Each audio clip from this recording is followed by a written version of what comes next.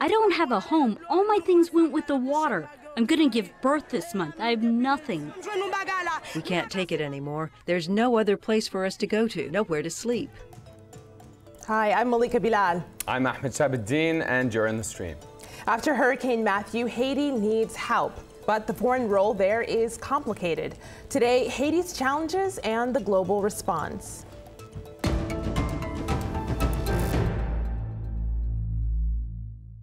Personnes ont perdu leur vie.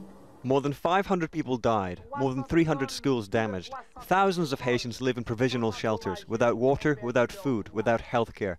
Various communities are still inaccessible. Haiti faces a new crisis in the aftermath of Hurricane Matthew. The Category 4 storm brought more devastation six years after a massive earthquake. The UN says 1.4 million people need urgent humanitarian aid. The world is once again mobilizing to help. But the 2010 earthquake response has left some wary of chipping in. Billions of dollars were pledged, but very little reached those in need. In fact, most donations bypassed the Haitian government and went directly to foreign contractors and NGOs. The aid effort is just one part of a controversial foreign role since Haiti's founding days. A slave revolt won Haiti's independence in 1804, but it was forced to pay billions of dollars in, quote, reparations, unquote, to former colonizer France until the mid 20th century. In 1991, a U.S. backed coup ended Haiti's first elected government. The U.S. supported another coup in 2004 and then intervened to help decide the 2010 presidential race. Food aid has wiped out Haitian farmers unable to compete with subsidized U.S. rice and corn. And a United Nations peacekeeping force brought cholera to Haiti after the earthquake. But only this year, after some 10,000 deaths, did the UN finally admit responsibility. Many hoped new presidential elections would restore autonomy and stability to the Haitian government, but the storm delayed the vote for a fourth time. So to discuss Haiti's challenges and the foreign role, we're joined by Gary Pierre Pierre, founder of the Haitian Times. Jake Johnston is a research associate at the Center for Economic and Policy Research. Danny Glover, actor and activist involved in Haiti for over two decades. Stéphane Vincent is Chief Information Officer in the Office of Haiti's Prime Minister. And Nina Raoul is Executive Director of Haitian Women for Haitian Refugees. Welcome to the stream, everyone. I want to get started on my laptop with a tweet we got from our community. Uh, this was actually tweeted by a U.S. football player of Haitian descent, Elvis Dumervil, who says, People who are not from Haiti don't understand that most homes are not built to withstand a hurricane or an earthquake and give our viewers a sense of what that means and what that looks like. Here's a picture one of our guests sent us. Uh, Nina, your organization is working with people like this woman who lost her goats and her roof in this latest hurricane. How are people coping, Nina?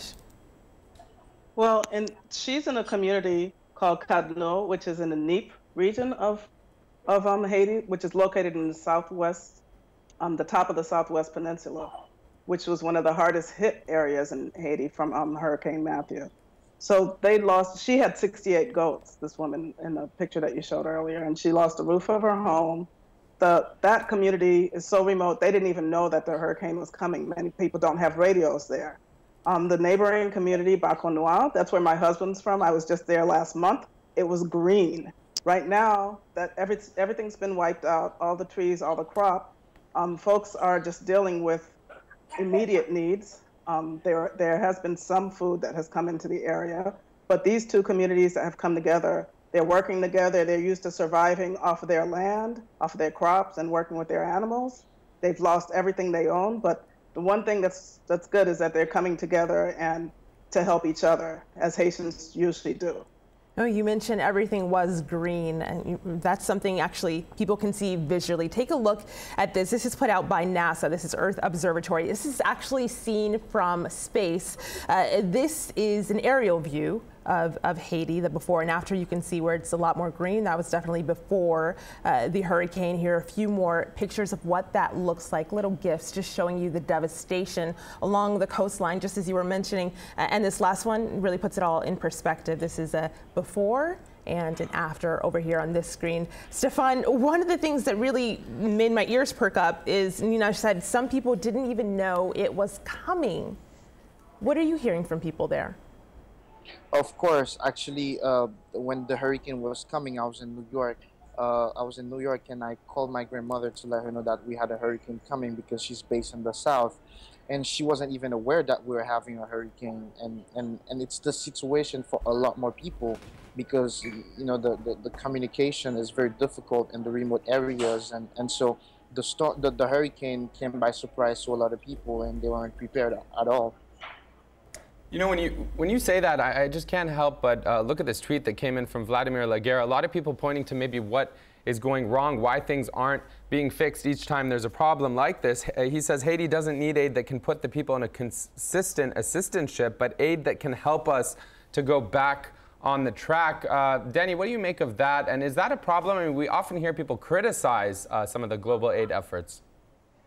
Well, as we saw with the earthquake of 2010, a great deal of the resources that have been donated by private donors, donors, world donors, agencies, etc., etc., never really got to building the kind of infrastructure, communication structure that would make it possible for Haitians to stand on their own and not be just waiting for assistance.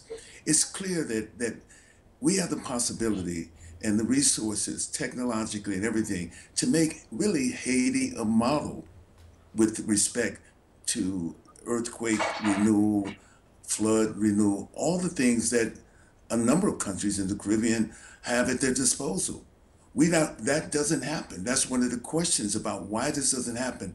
Why the billions of dollars that could have gone into into structural development, things that would have would have anticipated such a, a, a, hurricane such as this were not put in place yeah. over the last six years.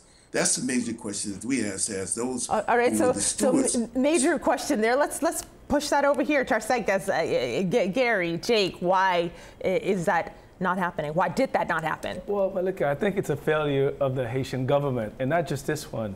I go back to the last 25, 30 years, where we know that hurricane is coming every year in Haiti and yet there's been no disposition made.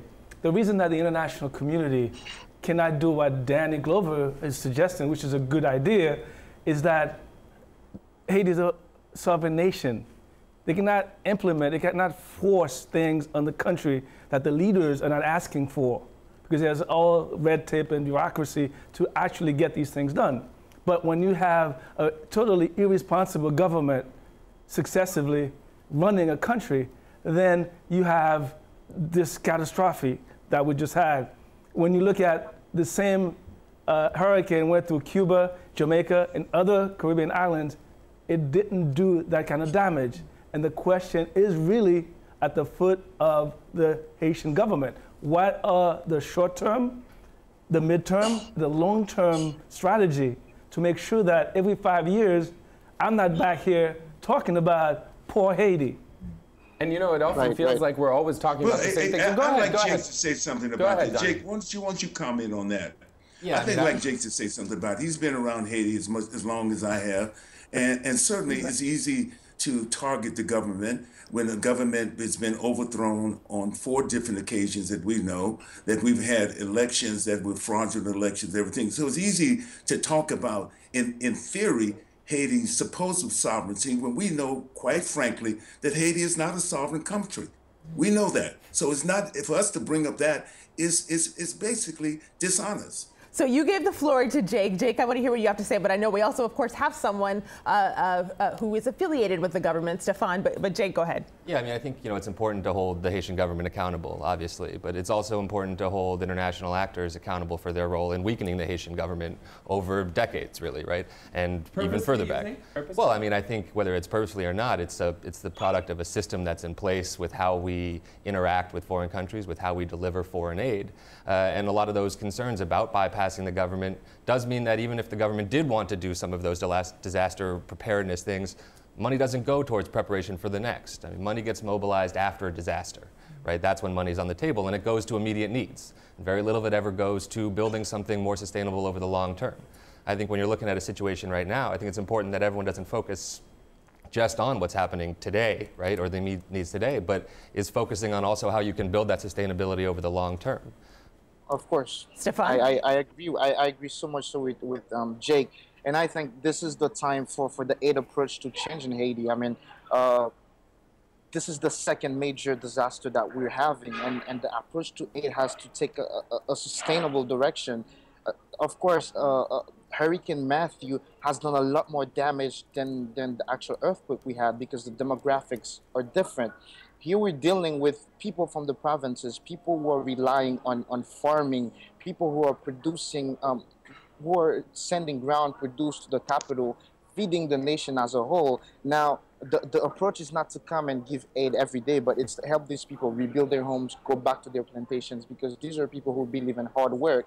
And, and, and this is a major difference from, from, from the earthquake. And, and I think also that aid, aid and relief efforts have to be led by the Haitians because, of course, we need the cooperation of, of NGOs or foreign governments, mm-hmm. but only Haitians know what is good for us. And it's not up to any foreign governments or NGOs to impose a plan I think aid and relief efforts have to be led by the Haitian people so that we can move towards a sustainable culture instead of, uh, of giving out aid, aid kits and food kits every day to the people. And I think it's, it's, it's the time now to really change the approach of aid and, in Haiti because and Stéphane, I mean, you're talking about changing the approach of aid, and you know, we heard uh, you you blame not just the government. You can't just blame one party in this, and a lot of our communities, you know, bringing up those very same points. And the reason I I want to jump in here is just to point to what Mariette's asking. I, I want to kind of get your thought on this. Mariette Williams saying we are more than just quote the poorest country in the Western Hemisphere, often uh, how Haiti is referred to. We also have another tweet uh, from Vladimir saying, why the media, when talking about Haiti, they always refer to this one sentence, Haiti, the poorest country in the world. And the last tweet from Vladimir saying, why you never refer to Haiti as the first black republic in the world. Ninaj, I see you're nodding your head. Uh, any reaction to the, the way this is framed, not just by the media, but the international community as well?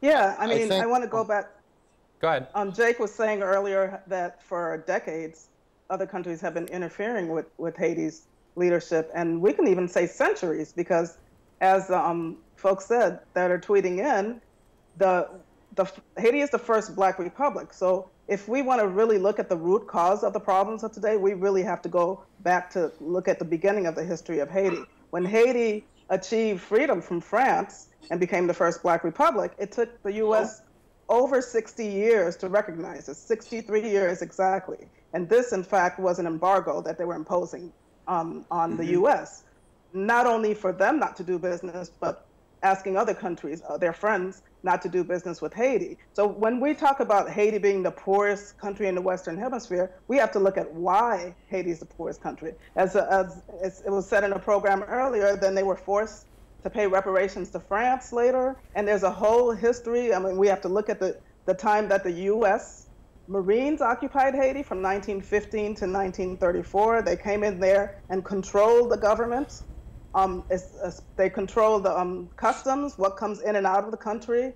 Um, they, they took away many of the trees. This is what was left after France, while they had colonized Haiti, had took away many trees and shipped them for lumber. The US did the same during those 19 years. And so when we look at deforestation today in Haiti, which is often in the, in the um, media blamed on peasants mm. who only have machetes to cut branches to use for cooking wood, they don't have the equipment to cut the big trees that the um, lumber company that have been coming in Haiti over the decades or so, so Nina, I, I, hear what I you're think, saying. So, so think, that said, that point you're making, uh, it's actually kind of echoed here um, by someone in our community. This is Westonley who sent us a video comment, um, and I want to push us just on a little bit because he links that history that is really important to know to then what can be done about it today. Have a listen to Westonley. As a historian, I am naturally inclined to believe that history has a lot to do with the contemporary situation in Haiti um, with regards to foreign involvement. There is this idea that Haitians are incapable of helping themselves, so in moments of crisis, um, there is a need to intervene. The problem with that is earlier intervention in terms of the American occupation of Haiti from 1915 to 1934 hasn't proved all that well for the country a hundred years later. So, Gary, he seems to say there is a time, there are some points when aid is needed. Right now, where would aid be going? Where is it getting stopped? Is it getting to the people it needs to be getting to? Well, the first couple of weeks after a natural disaster, is usually chaotic. But, you know, we've been there before many times. And so I would like to again pose a question to the Haitian government. Where is the plan to address the natural disasters that we know are coming? I understand all the historical challenges that Haiti has faced since its independence, and they are real. But at some point, we got to stop being victim and take a destiny to in our hands and Well, I don't think there's anything about understanding victimization. This is not understanding that understanding understanding that there- we are against powerful forces but there are other countries that have done quite well for themselves for, for the dignity of their people while dealing with the, the, the, the, these superpowers so if we are the first black republic and we are uh, freedom-minded people, we have to find a way to be free because aid does not develop anybody. So both Danny and Stéphane had a rebuttal to Let- that. let- Let's, let's, let's just give an example. You you give an example of Cuba. Cuba is a sovereign com- country. Cuba has said all the be at the beginning. So when we had Hurricane Katrina, Cuba not only had the same intensity of that hurricane, not one life was lost. But in New Orleans, many people were displaced. Their lives were lost, never to return as they are. So we have to be. Let's lay out the truth of what happens. Sovereign countries do have some voice in what happens there. Uh, Cuba, which has offered help, their Cuban doctors are trained by uh, Haitian doctors trained by Cubans, et cetera, et cetera. Clinics have been set up there. There, are Cubans, Cubans for one, have laid us, us have, have put, have made us brought assistance to Haitians over the years. Venezuela has been another country. Country, uh, uh, um, uh, the, the oil the oil program, PetroCaribe, has been a help to Haiti. It's been they've supplied Haiti with concrete and certain other things. We have to really call this where it is. Mm. Clinton apologized. Bill Clinton apologized for the role that he played in undermining Ha- Haiti's capacity to feed itself by importing rights. That has nothing to do with their sovereignty. I think um, I think Gary is has posed a serious question on the table. Where where do we go from here? And it, it's funny that almost two years later, and, and of course I'm a public servant, but I'm speaking as an engaged citizen in the country. Almost two years later, when I was here on the stream talking about five years after the earthquake, I remember my closing remarks had to do with encouraging the people to go out and vote for elections. And here we are almost two years later, still without elections. Mm. And we currently have a transitional government which doesn't have the proper capacity to deal with such a crisis. And, and we're hoping to have elections as soon as possible. On, on the eye of the international community, we need aid, we need relief efforts. And then internally here in Haiti, the focus is, is as the focus on elections is as pressing as the focus on relief efforts because we need a legitimate government to take over reconstruction, to, to take over the handling of this of this crisis that we're currently having. And that's also a, very important issue for us in moving forward. And we need a new government that has the proper strategy, the the strengthened capacity building in order for us to not go through this all the time. Whenever we have a disaster, we're never prepared. And and, and that's very important. And Stéphane, need to have because because because you bring up that point of how important it is, not just uh, for the government and for you know having leadership in Haiti, but in general leadership uh, across all different avenues. We have a, a comment coming from Romel Jean Pierre saying. Absence of a real re- leadership or too much monopoly and not profit of Matthew to create real urbanization plan. He is citing that as a mistake that's been made, uh, calling calling for more leadership. And, um, you know, on that same point, we have Mariette Williams kind of echoing the same point, saying the importance of partnering with small local organizations to avoid, for example, another Red Cross debacle. Um, and of course, this this I think this also goes back to my first point, which is letting the efforts be led by Haitians. I mean, I'm I'm I'm originally from the south, and I've seen a great example of leadership from the mayor, and where, where you you have a situation where those young people, the locals, you know, they're they're coming together to clean the streets. They're coming together, going out with what they can partner with organizations that are distributing aid to help the people, knowing the reality of, of the country, the reality that we're going through. Of course, I think um, we, we, we're seeing a lot more cases of, of, of, of local leadership. Of course, we've had a lack of leadership, but again, this crisis calls for Haitian-led initiatives Mm. for us to get out of this limbo. And, and, Stéphane, what's- Stéphane, what's you also you're also talking about knowing the reality. Obviously, it's much easier to know the reality when you're on the ground. But um, with so many issues like this, protracted conflicts, and when you have kind of compounding issues, one disaster not really dealt with, and then another, um, perception tends to matter, as you guys know, as much as reality. And we have a comment about perceptions and how that impacts policy.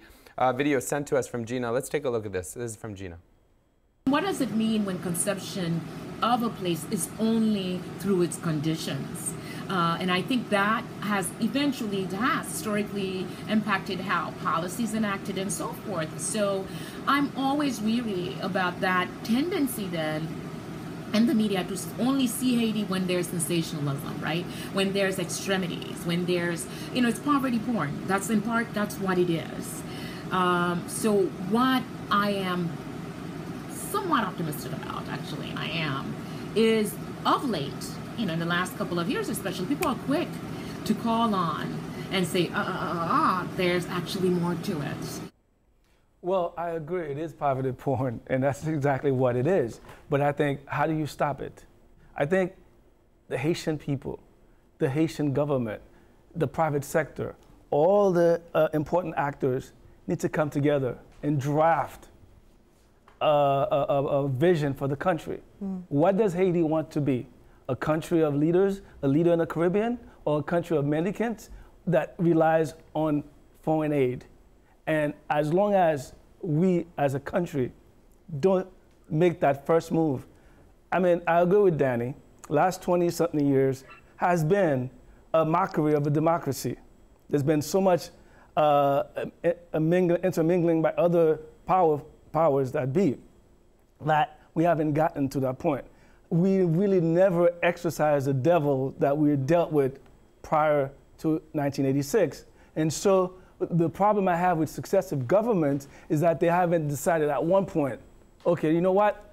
This is not going well for us. What do we need to do? And this is beyond uh, uh, the, the natural disasters. And the US media internationally, we focus on Haiti when these things happen. Right. But there are a lot of other issues happening in Haiti right Which now. okay. So this brings me to a tweet we just got in. Someone's watching this conversation as we're having it, and this is Zach. He says, "Let's not politicize this while people are suffering. When two bulls fight, the grass trembles." Our African proverb. Jake, I know that you were just there in Haiti. What is it that you heard from people? Were they talking about the lack of no elections, or what, what were they talking about? Oh, I think it obviously depends, and I think this is, comes back to a big problem that you had both in the earthquake and now is the centralization in Haiti, right? I mean, you've got the Republic of Port-au-Prince, and then you have the rest of the country.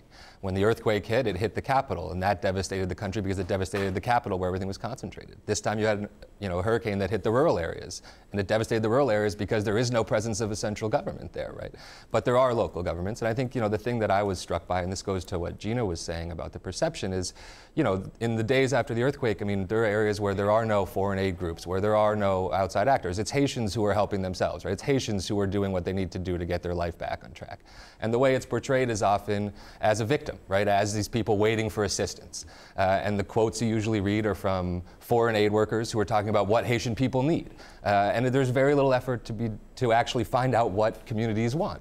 And this goes, you know, to to a lot of these things we've been talking about, which is not just the media sort of portraying Haitian voices, telling their own story, but aid workers making sure they have contacts in local communities so they know what these communities actually need. I mean, I talked to uh, somebody who was down there, worked in the government, and was getting phone call after phone call after phone call from people saying, I've got a plane load of stuff and I want to bring it to Haiti to help.